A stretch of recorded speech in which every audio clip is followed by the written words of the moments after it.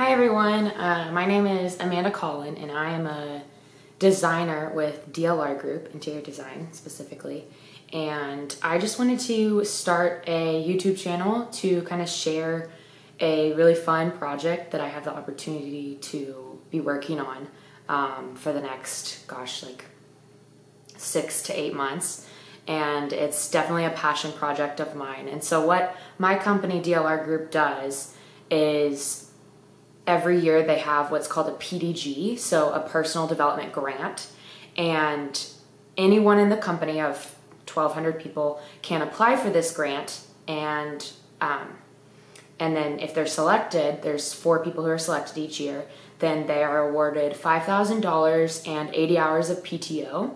So I was luckily um, awarded this grant, so that's super exciting. And I wanted to share kind of what my project is and because I think it's super important and I don't want this I guess awareness that I'm trying to to grow to just end whenever I am done with this project in August. I want it to keep going and um, be something that people can can continue to be aware of.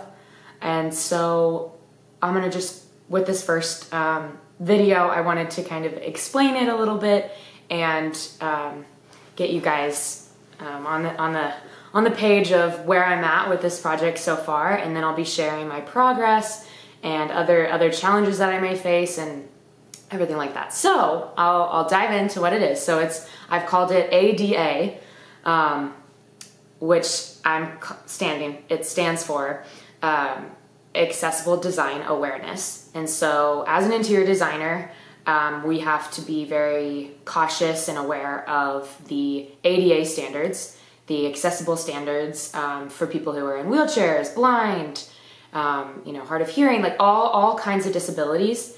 And so we have to make sure to incorporate that in our in our designs. But a lot of times the code that we have to follow is pretty bare minimum um, and sometimes not good enough.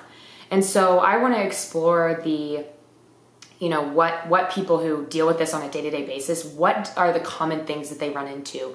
What are the things that you know people who are in a wheelchair com- constantly complain about or constantly like face those challenges and come up to those obstructions that they just cannot get through or they have to have the assistance of someone else. And it limits their ability to be independent right so things like that. And through this, I'm I'm doing a set of interviews with a lot of different people from all over the country. Literally, I I'm I sit in Dallas, but I've got people from Seattle, um, Minnesota, Florida.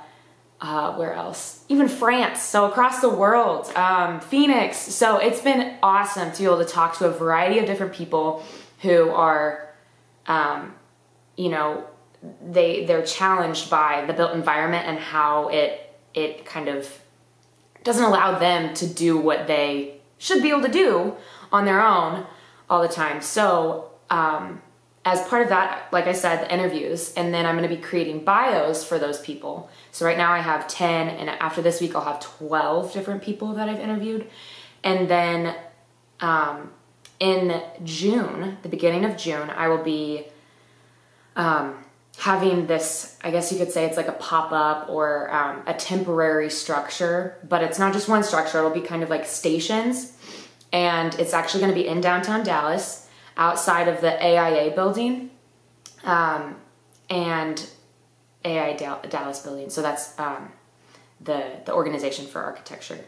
Um, and so, what I want to do is have these these structures that are set up like for example one with a ramp that is to code you know the, the slope has to be 12 inches this way one inch up so it's very gradual slope is what is to code but a lot of ramps are not like that and so um, you know and then have another ramp that is very steep and then have a wheelchair on site or two so that people can test this out and see for themselves. You know, the, the people who don't have to face these challenges all the time. I want the general public to be more aware of, oh, wow, I didn't think that that would be an issue. Oh, wow, yeah, that makes sense.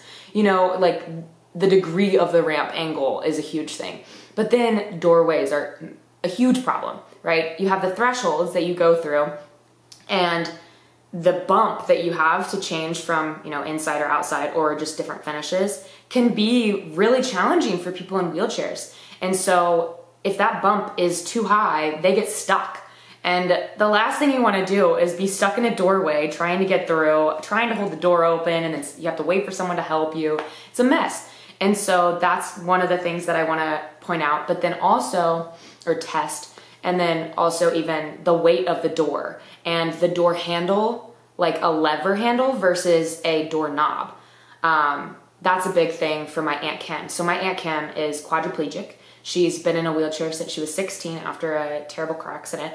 And so this having been exposed to her all my life and you know see what she's had to go through through design school i was very passionate about ada design and you know designing for everyone, not just the per- the people who can walk and you know do do the I guess day to day normal tasks that you would consider um, for an able body. But I I just that was one of my passions for starting this project um, is because of her. So she definitely inspired me. And then other other examples, you know, different things with people who are blind, projections off the wall. There's limitations for that. So having those examples and there's I'm not gonna spoil it all right now, but um, those are some of the the little stations I would do. And then also just having the the posters of the different bios of the people I've been talking to and interviewing, and then also um, just a lot of information that a lot of us are unaware of, and like the statistics on how many people are disabled and how many people are mobility related disabled is mind blowing.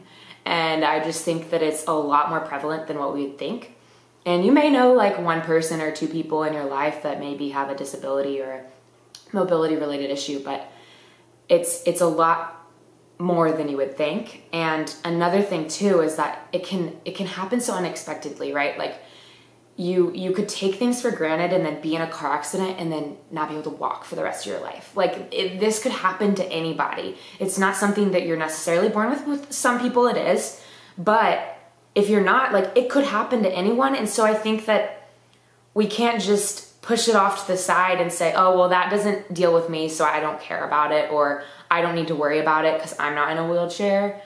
And that's just not the right kind of thinking because eventually, whether it's old age or something, most likely you're gonna have some sort of limitation on whether it's hard of seeing or you know you have to use a wheelchair or a walker or a or a cane or something whether it be just later on in life or you could be temporarily disabled like an accident or a sports injury or something like that where it's you're on crutches and have to figure out how to get you know get around on crutches. It, it can be tough or temporarily in a wheelchair. So I'm really, really excited to be sharing this with you guys. Um, and I, it's a real big passion project for me. And so please, please follow along on my journey. Subscribe to my YouTube channel um, if you want to hear more. And I'll be posting some videos along the way as I create this and um, talk about my experience. So thanks, you guys.